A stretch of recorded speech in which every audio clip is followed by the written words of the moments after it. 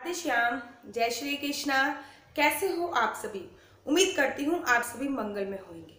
आप सभी लोग नित्य प्रतिदिन मंदिर जाते हैं। मंदिर जाने के बाद हम लोग बाहर आके सीढ़ी पे बैठ जाते हैं या फिर पौड़ी पे बैठ जाते हैं। आप लोगों को पता है कि बाहर आके सीढ़ी पे बैठ के हम लोग क्या करते हैं?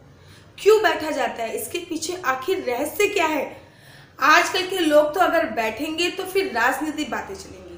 कि हाँ भाई, राजनीति में ये हो गया है, कांग्रेस का ये हो गया है, भाजपा का ये हो गया है, या फिर व्यापारिक बातें चलेंगी। और अगर माताएँ बहनें बैठेंगी तो फिर आपको तो पता है कि क्या चलेंगे। मेरे बेटे की शादी नहीं हुई है, ये नहीं हुआ है, वो नहीं हुआ है। असल में क्या रीजन है कि हम लोग आके पौड़ी पे, सीढ़ी पे बैठते हैं तो हमें क्या करना चाहिए? जब हम अंदर जाते हैं और ठाकुर जी के दर्शन करते हैं, बिहारी जी के दर्शन करते हैं, या फिर किसी भगवान के आगे दर्शन करते हैं तो हम लोग अपने हाथ जोड़ लेते हैं और हाथ जोड़कर आँखें बंद कर लेते हैं। अरे, हम गए हैं दर्शन करने। उसमें आँखें बंद करने का क्या रीजन है? कोई नहीं।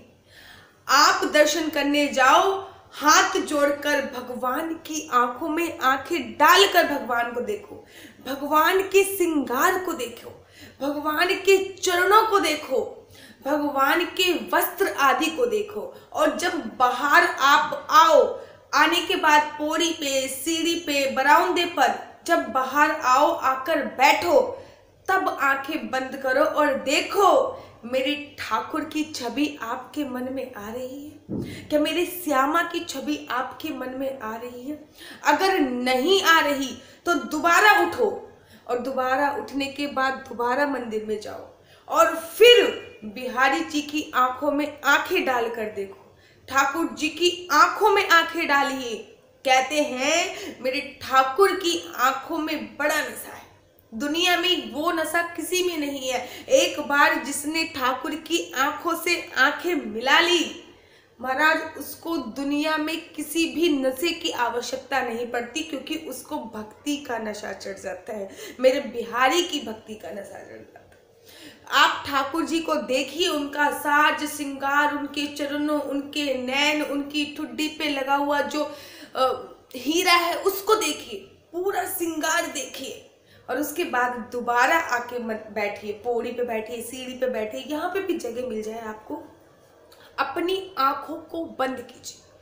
और अपनी आँखों को बंद करने के बाद अगर पूरा का पूरा आपके पास ठाकुर की वही छवि आ रही है, जो छवि अंदर है, तब सही मायने में आपने भगवान के प्रत्यक्ष दर्शन करें।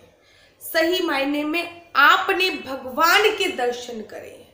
लेकिन आज के लोग भगवान के दर्शन करके आते हैं और भगवान के दर्शन करके आने के बाद सीढ़ी पे बैठ जाते हैं, उसके बाद अपनी राजनीति बातें चलाते हैं, उसके बाद अपनी सांसारिक बातें चलाते हैं, उसके बाद अपने मोह माया के जंजाल में फंस जाते हैं। आप लोग जब मंदिर में जाओ तो हमेशा आँखें खोल के रखो, भगवान को दर्शन करो और उसके दर्शन करने के तत्पश्चात बाहर सीढ़ी पे आकर बैठो। और जब आप दर्शन कर रहे हो, जब आप प्रार्थना कर रहे हो, भगवान से प्रार्थना करो। याचना मत करो। याचना क्या है? याचना आप करते हो कि भगवान मेरे पुत्र का विवाह हो जाए, भगवान मेरे बेटा हो जाए, मेरे बेटे की शादी हो जाए। नहीं, भीख क्यों मांग रहे हो भगवान से?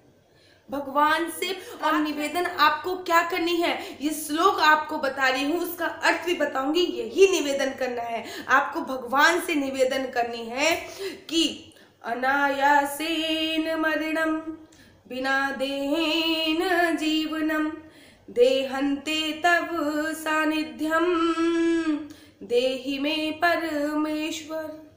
भगवान से आपको प्रार्थना करनी है कि हे भगवान अनायासेन मरणम, अर्थात बिना बीमारी के, बिना बिस्तर पकड़े चलते चलते ही हम श्री जी के चरणों में लिपट जाएँ, श्री जी के चरणों के दास बन जाएँ, श्री जी के चरणों में समाहित हो जाएँ। ऐसा बोलो कि बिना किसी बीमारी के हम लोग श्री जी के चरणों में चल। चलते फिरते बिना किसी के सहारे के। दूसरा क्या बोलना है? कि बिना देहेन जीवनम, अर्थात बिना किसी के सहारा लोगों को लकवा मार जाता है पैरालाइज हो जाता है, वो बिस्तर पकड़ लेते हैं। हम भगवान से प्रार्थना करो कि हे भगवान, बिना किसी के सहारे के हम चलते फिरते, हमें किसी के सहारे की ज़रूरत ना पड़े। हम चलते फिरते, आप हमें ऐसी कृपा करो कि चलते फिरते हम आपके पास आ जाए। फिर बोलते हैं कि देहंते तब सानिध्यम। अर्थात जब मेरी मृत्यु हो तब मुझे आपका सानिध्य मिले, आपके दर्शन मिले। जैसे भीष्म पितामह की मृत्यु हुई थी कि इतना तो करना स्वामी जब प्राण तन से निकले। जब भीष्म पितामह की मृत्यु हुई थी, गोविंद सामने खड़े हुए थे। ऐसा मांगो और उसके बाद बोलना है, देही में परमेश्वर ए भगवान, मैं आपसे यही अर्चना कर रही हूँ। ए भगवान, मैं आपसे यही वंदना कर रही हूँ। आपको सीढ़ी पे बैठ के ये प्रार्थना करनी है ठाकुर से। हमेशा जाओ, हमेशा, मैं ये श्लोक नीचे भी लिख दूँगी, इसको रट लीजिए। अपने दिमाग में बैठा लीजिए। इसके अर्थ को दिमाग में बैठा लीजिए। अपने बच्चों को बताइए कि आपको मंदिर में ये नहीं मांगना कि मुझे नौकरी दे दो, मुझे नौकरी दे दो, मुझे ये कर दो, मुझे फलाना कर दो। अरे, ये सब मोह माया है। आपको मंदिर में जाना है तो ये मांगना है, जो मैंने आपको अभी बताया है। अगर आपको और अधिक जानकारी चाहिए तो मेरी वीडियो को अगर आप, अच्छी लग रही है मेरी वीडियो तो हमारे चैनल हरि बोल को सब्सक्राइब कीजिए। चलिए, जय जय श्री कृष्णा हरि बोल